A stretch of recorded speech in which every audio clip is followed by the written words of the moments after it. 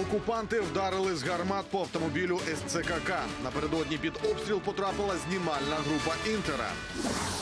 Нова терористична загроза. За даними ЦРУ, бойовики Аль-Каїди почали повертатися до Афганістану. Рятувалися від нацистів у міській каналізації. Львівські дигери знайшли сховок євреїв часів Голокосту.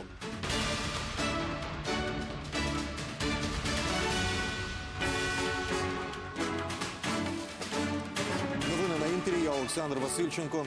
Добрий день.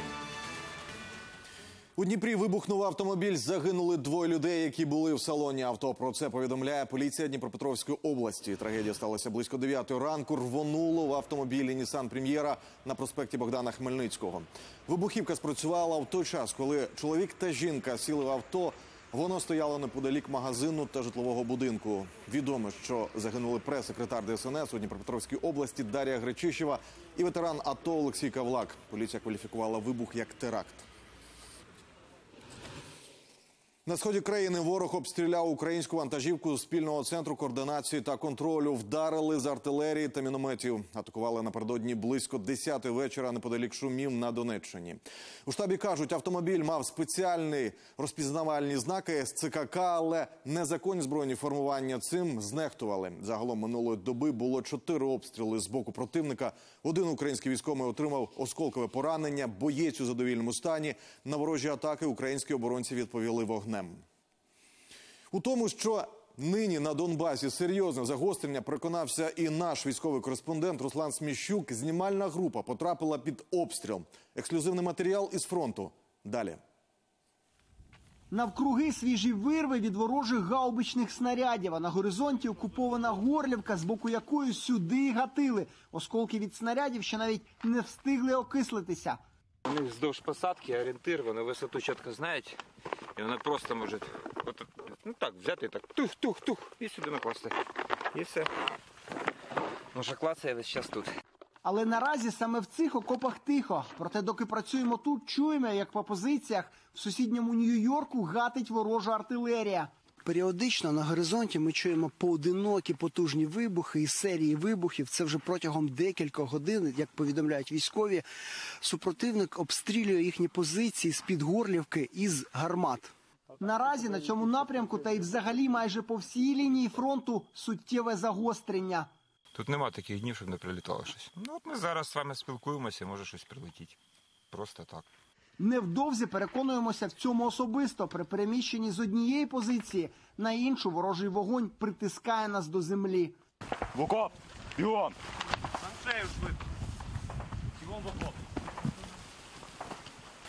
Це те, що я вам казав, на ровному місці.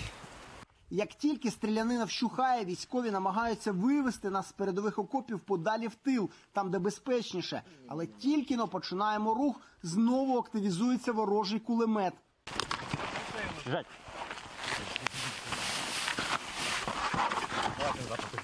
Тож доводиться хутко перебігати у більш захищену частину окопів, адже в будь-яку мить може прилетіти і щось поважче. Проте цього разу просто перечекати, коли ворог припине обстрілювати українські позиції, нам не вдається. Вогонь стає небезпечним, і вояки отримали дозвіл на відкриття вогню у відповідь. Ну і зараз от тут відбувається стрілецький бій. Вояки б'ють по вогневих точках супротивника, при цьому діють вкрай обережно, змінюють бійниці та не затримуються на одному місці довше декількох секунд, аби не стати здобиччю для ворожих снайперів. Невдовзі українським солдатам вдається вгамувати ворога і нас евакуюють у безпечне місце. І от саме в таких умовах, а часто і набагато гірших і небезпечних для цих мужніх чоловіків проходить кожен день їхнього фронтового життя. З Донецької області Руслан Смещук, Богдан Савруцький та Олег Зубов. Новини телеканал Інтер. У Нідерландах на слуханнях у справі мед 17 напередодні виступили ще восьмеро родичів жертв авіакатастрофи. Рідні загиблих закликали винних взяти на себе відповідальність та розповісти правду про трагедію. А ще просили про допомогу російський народ, оскільки офіційна Москва відмовляється співпрацювати у питанні отримання інформації з Курська. Нагадаю, міжнародна слідча група дійшла висновку, що ЗРК «Бук», із якого збили Боїнг, належить 53-й зенітно-ракетній бригаді російських збройних сил, дислокованій у Курську. Наступне судове засідання буде завтра. Слово матимуть ще вісім родичів загиблих. Боїнг малазійських авіаліній збили у небі над окупованою Донеччиною. У липні 2014 року загинули 298 людей. Суд Праги заарештував активіста так званої кримської весни Олександра Франчетті. Його затримали 12 вересня в аеропорту чеської столиці на запит України. Нині Франчетті у слідчому ізоляторі чекає рішення про екстрадицію в Україну. Росіянин брав активну участь в анексії Криму Росією 2014 року. В Україні його хочуть притягти до відповідальності за участь у незаконних збройних формуваннях. На межі з окупованим Кримом елітні підрозділи десантників провели масштабні навчання, тренувалися звільняти міські квартали від умовного ворога. Подробиці дивіться далі в матеріалі.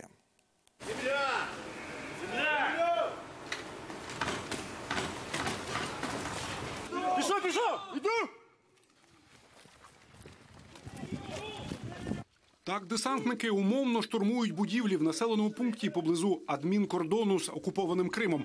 За легендою, їх захопили диверсійні групи противника. Ми старались максимально якісно та чітко відпрацювати е, дії під час бою в місті, під час е, зачистки будівель, під час зачистки вулиць, е, враховуючи цивільний фактор, для того, щоб в разі будь-якої ситуації, в е, збройний інцидент, ми могли правильно, злагоджено та максимально без жертв відпрацювати по знешкодженню противника або е, звільненню будь-яких заручників.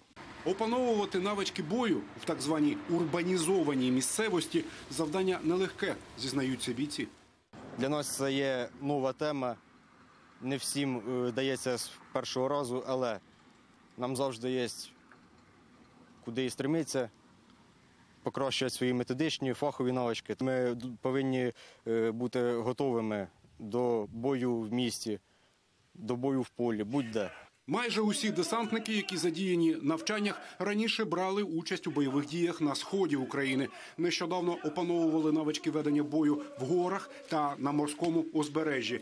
Тепер у міських кварталах і житлових приміщеннях. Командири правильно прийняли рішення щодо розподілу особового складу по штурмовим групам та підрозділам посилення.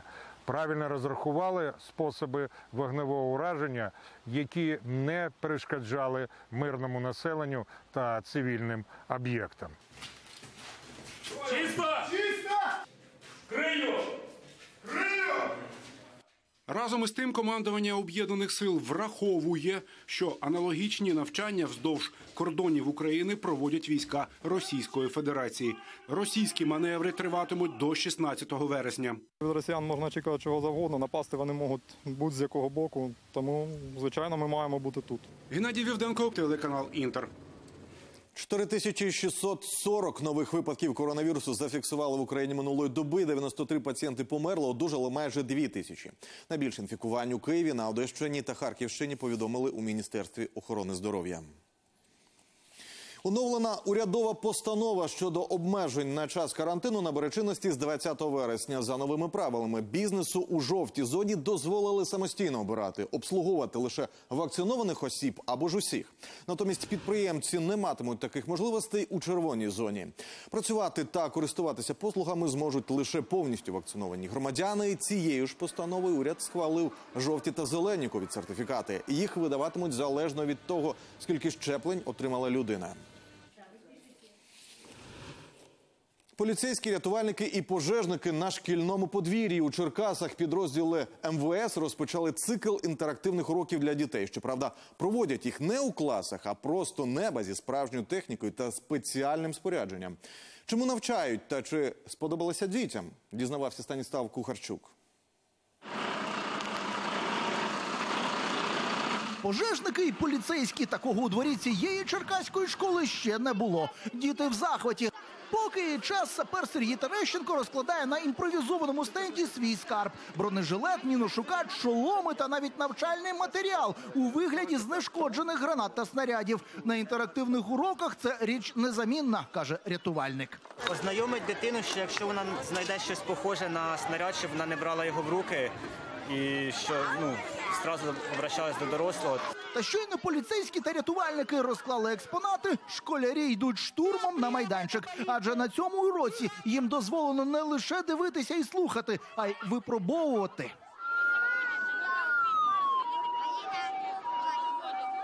А зацікавити дітей є чим. В ігровій формі поліцейські вчать наймолодших правил дорожнього руху. Рятувальники показують, як гасити пожежу і розбирати завали. Щоправда, діти настільки активні, що впоратися з ними не під силу навіть досвідченому копу. Работает поліція! Звичайно, що важко, але нічого страшного. Заради наших дітей ми готові працювати. Поки малеча розважається в спецавтомобілях та приміряє бронежилети і шоломи, шестикласник Максим роздивляється техніку рятувальників. Вона йому сподобалась найбільше. Мені подобається пожежна машина, бо вони рятують життя людей. Життя людей. Мені найбільше сподобались е, різаки по металу. Вони ни- ними достають людей з машин. На цей інтерактивний урок прийшли понад 100 учнів. Директорка школи й сама в захваті від дійства. Ми думали, що можливо це буде цікаво тільки молодшим школярам, але дивимося, як одягають бронежилети восьмикласники, і, і це радує, що дітям це цікаво. Такі інтерактивні уроки поліцейські і рятувальники планують провести у всіх школах Черкас до 25 вересня. Станіслав Кухарчук, Павло Тимошенко, телеканал Інтер. Черкаси. П'ятирічна Кіра Зайцева потребує нашої допомоги. Дівчинці поставили діагноз гострий лімфобластний лейкоз. Допомогти дитині можуть чеські лікарі. Для цього рідні дівчинки збирають кошти. До жовтня мають внести предоплату 60 тисяч євро, але таких коштів батьки не мають. Тож звертаються до всіх небайдужих по допомогу. Кіра дуже любить малювати. Ось такі картини Кірочка теж робить.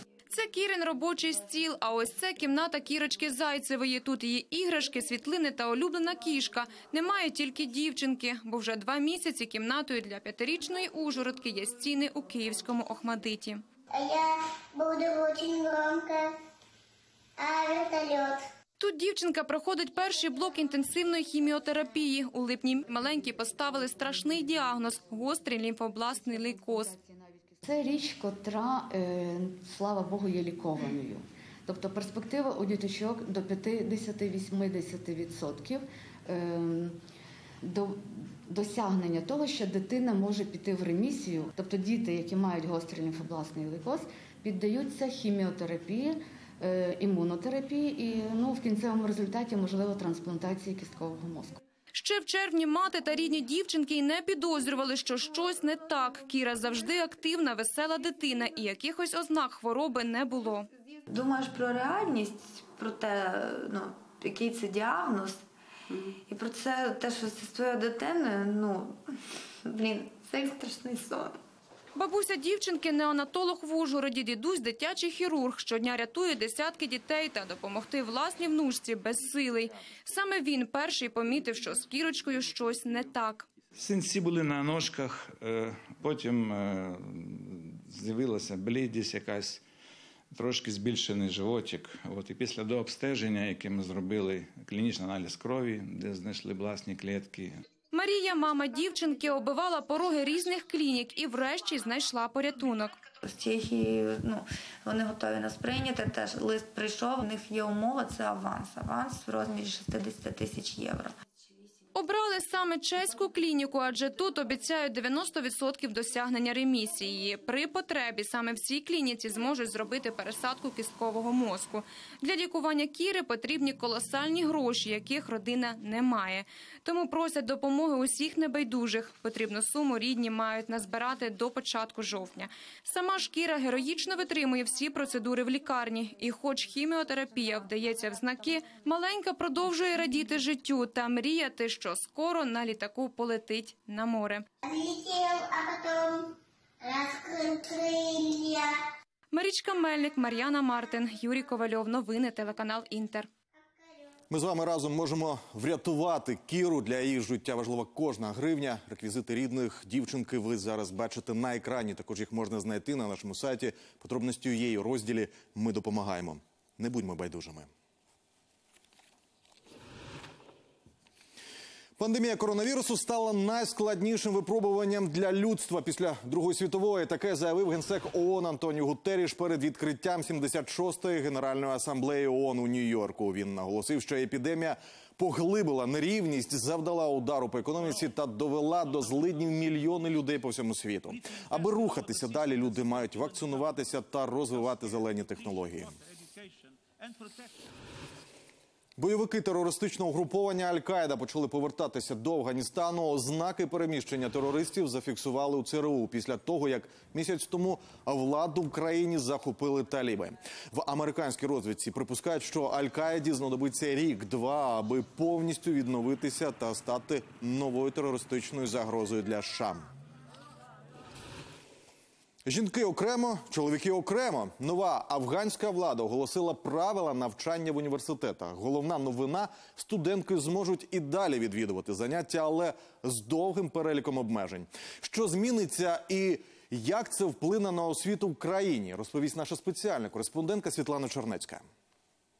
20 років тому за правління Талібану навіть й мови не було про вищу чи навіть середню освіту для дівчат. Навчання для школярок закінчувалося в 11 років у період, коли починається статеве дозрівання. Адже на переконання Талібану жінка має сидіти вдома і народжувати дітей. Утім, за останні 20 років ситуація змінилася кардинально. Кількість студенток в університетах досягла рекордного рівня, а в деяких закладах їх стало навіть більше за чоловіків. Удвічі зріс рівень писемності серед жінок. Усі навчалися разом, жодних дрес-кодів правила не прописували. Але з приходом нової влади все зміниться. Ми не хочемо спільного навчання жінок і чоловіків і вже розробили структуру для припинення змішаних класів. Тепер нею мають керуватися приватні та державні університети. Західний світ видихнув із полегшенням, адже таліби могли взагалі заборонити вищу освіту для дівчат. Утім, радіти передчасно, адже йдеться не просто про розділене навчання, а ще про цілий ряд обмежень. Зокрема, тепер викладати студенткам можуть лише жінки. У нашому суспільстві набагато більше чоловіків-викладачів. Жінок-викладачок надзвичайно малий відсоток. Тож виходить, ми будемо змушені залучати до викладання людей зі значно нижчою кваліфікацією. Відповідно, це призведе до сповільнення інтелектуального розвитку студенток. Їхні здібності не використовуватимуть належним чином. Це дуже негативний наслідок нових правил. Але й на цьому зміни не закінчуються. За загальними правилами жінки не можуть виходити на вулицю без супроводу брата, батька або чоловіка. Тобто у приїжджих взагалі немає шансу на навчання, якщо всі їхні родичі залишилися в іншому місті. Для багатьох дівчат стане просто недосяжним дотримуватися усіх правил, і як наслідок позбавить можливості здобути освіту. Цими новими рамками вони намагаються повернути нас у попередні десятиліття, адже більшість обмежень стосуються лише дівчат. Що ж стосується дрес-коду, у міністерстві освіти висловилися узагальнено. Однозначно, дівчата змушені носити хіджаб. Це вбрання, яке приховує фігуру і залишає відкритими обличчя і долоні. Але вже зараз талібанські бойовики на вулицях наказують жінкам одягати паранджу. Це довгий халат, який навіть очі закриває щільною сіткою. Будуть зміни і в розкладі. Талібанська влада планує скасувати ті предмети, які не відповідають принципам ісламу та історичним цінностям Талібану. Цей перелік ще уточнюють. Світлана Чернецька, Юрій Романюк, телеканал Інтер. Франція закликала Малі відмовитися від послуг вагнерівців. Раніше з'явилася інформація, що місцева хунта хоче найняти бойовиків з приватної військової компанії Вагнер, нібито задля безпеки керівництва та підготовки армійців. Франція, яка тримає військовий континент у Малі, пригрозила вивести його, що на Україні з'являться російські найманці. Мовляв, поява вагнерівців зашкодить боротьбі з джихадистами, яку провадять французи у регіоні. Раніше бойовики Вагнера вже відзначилися військовими злочинами на сході України та в Сирії на африканському континенті. Вагнерівці нині найбільше орудують у Центральноафриканській Республіці. Прем'єр-міністра Гаїті Анріеля Анрі підозрюють у причетності до вбивства президента Жованеля Моїза. За даними прокуратури, прем'єрові кілька разів телефонував ключовий підозрюваний майже одразу після вбивства. Слідчі вже звернулися до еміграційної служби, аби не допустити виїзду прем'єра з країни. А той у відповідь на звинувачення вже звільнив головного прокурора країни. Нагадаю, президента Гаїті застрелили у його резиденції 7 липня. У справі вже заарештували понад чотири десятки підозрюваних. Львівські дигери у міській каналізації знайшли сховок євреїв часів Голокосту. Тоді під землю майже рік від нацистів рятувалися десятки людей. Одинадцятеро з них вижили. Як вдалося знайти схованку під землею і хто допоміг вижити євреям, євреям у нелюдських умовах, з'ясовувала Христина Гашенко. Тут, у центрі Львова, на Соборній площі, дигер Олександр Іванов спускається в каналізацію на глибину майже 2 метри, щоб показати, де під час Другої світової війни переховувались євреї. Таким чином е, вони лазили тут кожен день. Вони час від часу ходили за водою в ту сторону і потім вже до основного русла Полтви. Висота тут 70 сантиметрів, тобто дуже легко і просто лазити тут доволі складно.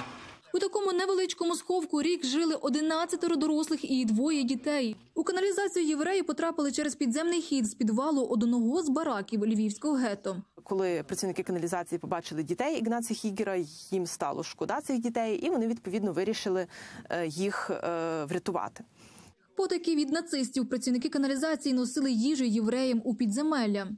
Ну, вони тут зберігали її або на цвяшках зберігали, або як. І щури, отут, от як по, по драбинках, собі залазили.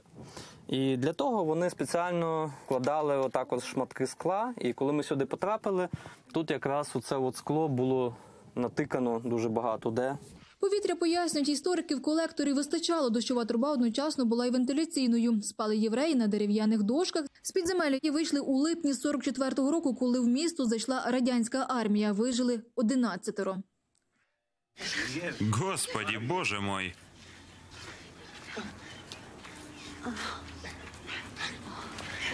Мне страшно, мам. Давай вернемся. Це кадри з польського фільму, знятого за книгою Христини Хігер. Саме вона семирічною дівчинкою в далекому 1944-му вижила в підземеллі.